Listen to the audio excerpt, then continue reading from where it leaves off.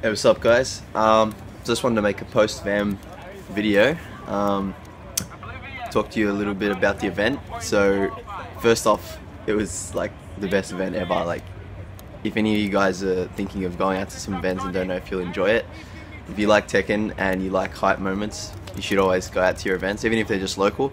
Uh, this event was amazing because yeah, got to see all the pros and um, just really measure up my own skill and see how how I went against people. I was pretty happy with my performance. Uh, I won a couple matches and um, the last one was close. Um, as you can see in the videos I've, I've got on here. Um, go to see my friend recording them. Um, a couple of my mates as well, as you might have seen in other videos, uh, they competed as well, so I'm pretty proud of them. They hung in there and did their best. Um, the actual tournament itself, I don't know if you guys saw the top eight, but it was really crazy. Like I loved it, and uh, so glad that Knee won. And I got to take a couple photos as well um, with him, so that was good. And I got on with Tasty Steve, as you can see there as well. Um, it was a really good experience because uh, I realized, you know, where the areas I have to improve on and the areas that I'm actually doing well.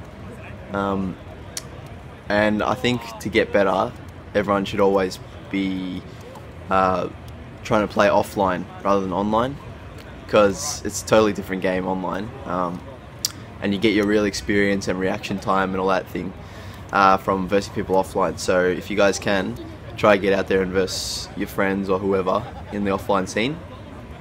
Um, next year I'll be back and I'll be trying to get at least in top 32.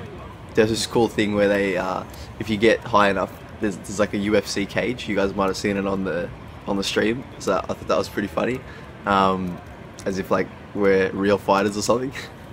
but um, yeah, it's a pretty cool touch, and uh, those were the matches that were on stream. So that felt, you know, pretty hectic if you were in there fighting. And um, I just want to say thank you to whoever my fan was that came up to me and recognized me and um, come and said hello. I appreciate that, and I'm I'm glad that uh, we actually actually got to meet you. Um, I'm sorry we didn't get to have some games. It was a pretty hectic weekend. There was people playing all weekend and things like that, and like you know you had to fight for the setups. There was people like jamming in behind each other. The waiting line was like 50 people down. Um, but yeah, I appreciate that, and um, I really appreciate everyone who supports this channel. Um, we're almost at 1500 subscribers, so um, you know, getting there. And eventually, when I can, I'm going to start streaming. So I hope you guys like the content so far, and um, things are only going up from here. So thanks a lot to everyone who supports me, and uh, stay tuned for more content, guys. Also, if you guys are interested in seeing certain video or you know certain combos or any any any strategies you guys want um, just hit me up and I'll make a video on it. Anyway, keep Tekkening, dudes. Peace.